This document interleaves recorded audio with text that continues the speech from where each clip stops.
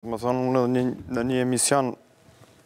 kështu në Rubikon para dy jave, po më duket e përmenda rrëfimin e komandantit një njësie speciale, po më duket në zonën operative të Shalës, zotit Bekim Shyti, kur si Rrjeti i Aksionit për Kosovën patëm organizu një tryez në 2004 te ndarja, si u nda dhe si të bashkohet Mitrovica. Dhe ai ka pas një rrëfim pak a shumë të ngjajshëm me rrëfimin e zotit Preteni, se Si udhëheqës i njësitit, ka pas urdhër prej Komandantit të Zonës Operative e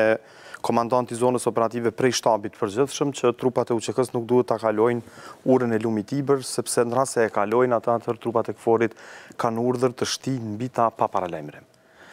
Edhe natyrisht, Duhet me u bo, po për fat keq na nuk na nuk studiojmë kurrgjë qysh duhet, se tash ka kalu një kohë, domethënë janë më shumë se njëzet vite, ndoshta nuk është distancë e mjaftueshme, po kishte me qenë mirë me e mbledh krejt shtypin vendor, shtypin rajonal, shtypin ndërkombëtar për këtë ngjarje, pastaj me memoaret e personaliteteve të rëndësishme politike ushtarake vendore e ndërkombëtare që kanë qenë të përfshime në këtë proces, e ndoshta edhe dokumentet me pritë edhe pse dokumentet don kohë për me u hap edhe me bo një studim se si na ndodhi kjo, jo për me fajsu ose me sha e me fye, me poshtru dikon edhe me glorifiku dikon tjetër, po për me kuptu të vërtetën edhe për me kuptu që ngjarje të tilla mos me na u përsërit në të në të ardhmen. Derisa po e dëgjoja rrëfimin e zotit Preteni, mu kujtu ajo që e thotë Gelneri, Ernest Gelner, domethonë një Një, një studius e, i njohur, ai thotë se aftësia për me bo luftë është ajo që e shqun një komb. E, tu e pa këto që na ka ndodhë neve në vitin 98-99, se na hala s'kemi bo studim qysh duhet për luftën. Na kemi pas aftësi shumë të kufizume për me bo luftë. E, dhe kjo vjen si pasojë e asaj që për 10 vjet kemi qenë të okupum, po edhe si pasojë e asaj që ata që e kanë udhëheq politikën në vitet e 90-ta, edhe që e kanë proklamu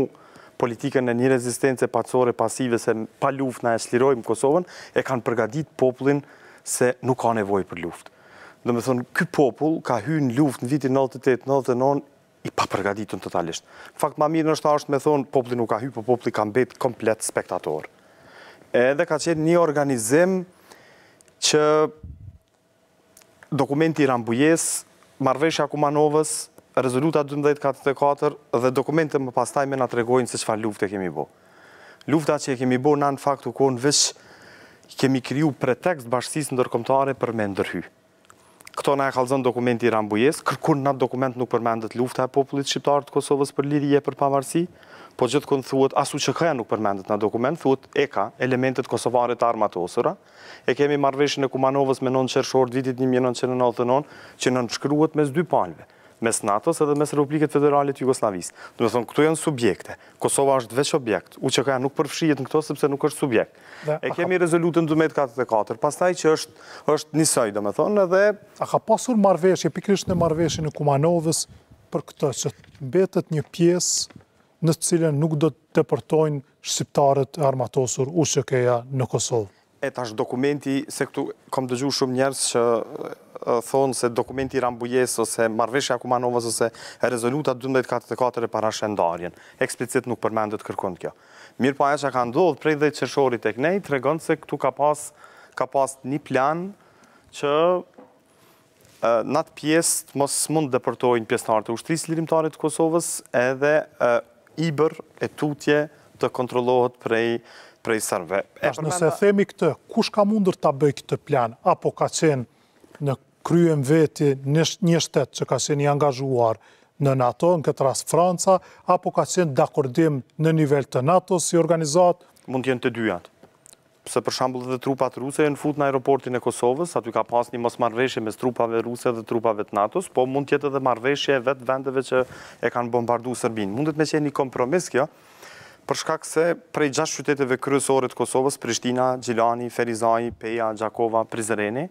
Mitrovica e shtata, prej këtyne gjashtë qyteteve janë largu shumica dërrmuese e qytetarëve të komunitetit sërb, edhe të komuniteteve tjera, po me theks të veçantë të komunitetit sërb, dhe mund të ketë qenë plani që këta qytetarë një pjesë e konsiderueshme të zhvendosen përtej lumit Ibër, mirëpo në të njëjtën kohë ndodh edhe ajo që shumica dërrmuese e qytetarëve shqiptarë prej veriut të Mitrovicës deportohen, Mos të harrojmë, domethënë, natën mes tre dhe katër shkurtit të vitit dy mijë, njëmbëdhjetë qytetarë shqiptarë vriten atje dhe deportohen rreth njëmbëdhjetë mijë qytetarë në në në pjesën këndej. Domethënë, unë gjithherë e shtroj pyetjen edhe kur diskutoj me njerëz që kanë qenë përgjegjës në Ushtrinë Çlirimtare të Kosovës, e shtroj gjithmonë pyetjen pse nuk kemi mujt na me i rujt pjesëtarët e pakicave menjëherë mbas luftës, edhe mos me pas nevojë me pas zhvendosje të popullatave kështu, shumica dërrmuese e pjesëtarëve të komunitetit sërb të largohen prej gjitha qyteteve të Kosovës dhe të vendosen në veri dhe shqiptarët prej veriut të Kosovës të kthehen kënej. Pse UÇK-ja nuk e kishte një plan në vitin një mijë e nëntëqind e nëntëdhjetë e nëntë, para se të futen trupat e NATO-s këtu, që të vendosë kontrol mbi këto qytete dhe të vendosë për t'i rujt pjesëtarët e pakicave kombëtare. Kështu kishim me çu ni mesazh te bashkësia ndërkombëtare që ne jemi t'aftë për me qenë shtet i pavarur dhe sovran dhe s'kish pas nevojë